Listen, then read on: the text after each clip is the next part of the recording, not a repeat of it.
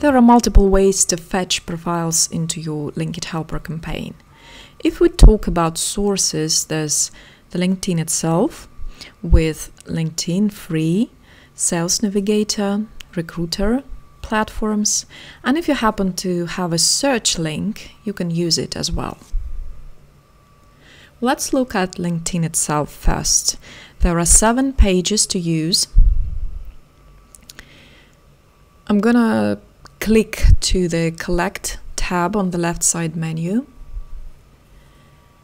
And then in the drop down menu Source, I'm going to select Search Page. Start by typing a keyword. Well, let's use something simple as CEO.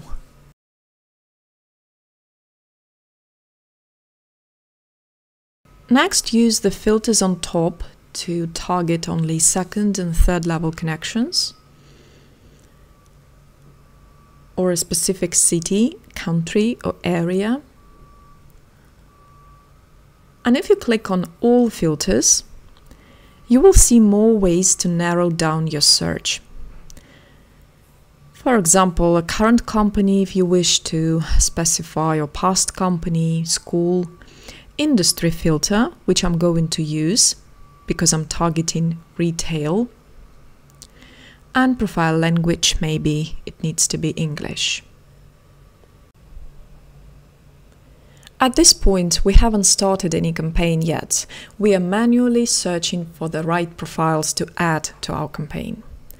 Now you can notice there are lots of people with the word founder coming up in the search results. You can go further and use the boolean uh, to specify your search. Booleans are words in capital letters such as not, or, and.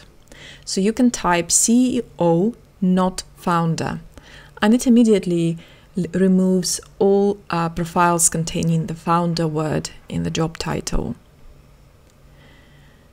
Another example can be programmer and developer. So um, profile needs to have either word in the job title, so it comes up in the search. But however, I see a few profiles with software engineer in the title. Let's imagine for some reason I do not want such profiles. I will click on all filters and scroll all the way down to the keywords section. This is where I'm going to use the title line and type programmer and developer in this line. On Free LinkedIn, the keywords section is responsive to Boolean queries.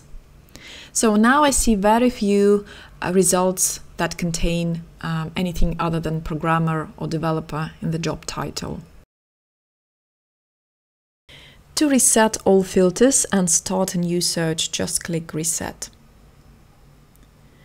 Now, after you have found the right profiles, select the campaign. I'm going to use one of my existing campaigns created specifically for this video, but you can click Create Campaign.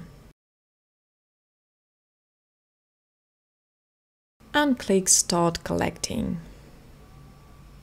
And only now LinkedIn Helper has started to scroll down through search page results and add them to the queue, which you can see in the upper left uh, corner with statistics. So collecting isn't something which happens automatically unless you uh, initiate this process. You first run your search, next you click Start Collecting. Well, let's open our campaign now and take a look at the queue. Here they are, our newly formed list of profiles.